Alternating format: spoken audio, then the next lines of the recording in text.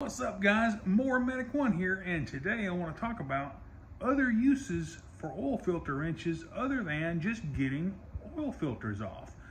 I have shown you guys in the past several different uh, things that you can do with oil filter wrenches and here is one more that worked great. I'm installing a new drive belt on this John Deere Gator. This Gator just happens to have a starter generator and uh, it's really hard to grasp that generator. And I don't like to just start shoving uh, you know big old long pry bars underneath there because you could damage the windings and the, the case. But this oil filter wrench just for some reason absolutely fits the rim of this starter motor right here. And it's got two notches to where the teeth of this oil filter wrench fit just perfectly. And then all you got to do is tighten up your belt.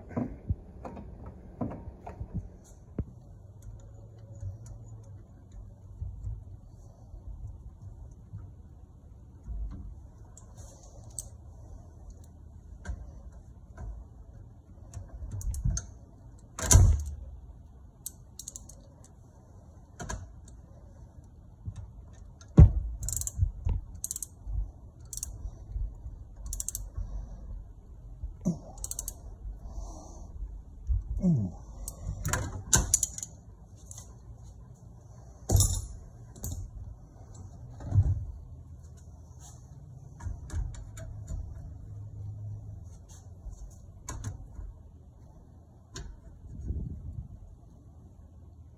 just tighten up your main pivot bolt here. Pretty big size. I think it's three quarter on this end and 11 sixteenths on this end for some reason.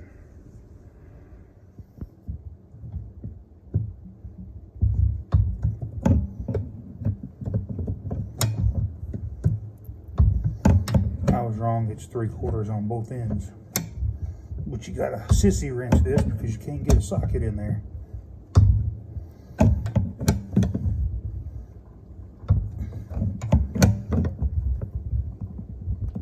Hmm. This uh, this gator kind of starts like a golf cart.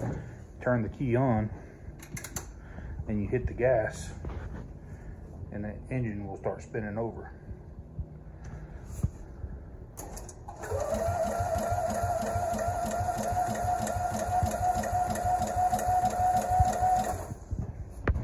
If you ever want to put one of these carts in neutral, you just stick you a drift punch down in this and make it go down in this hole right here. May have to manipulate the shifter up front just like that because it wants to go to, it doesn't have a good detent at all from the factory so you have to do this right here.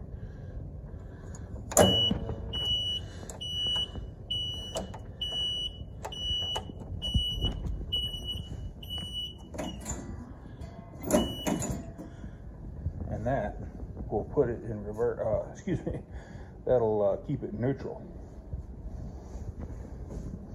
So let's do a cold start. Choke's way around here on the side. I'm gonna push the gas down,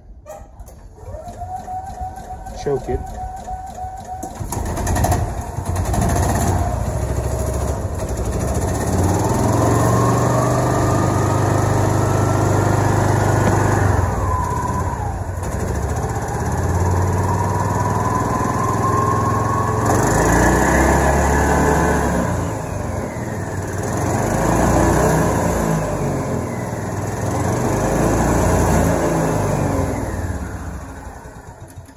and when you release the and when you release the gas the engine stops. She's a little cold natured i'm going to give her a choke again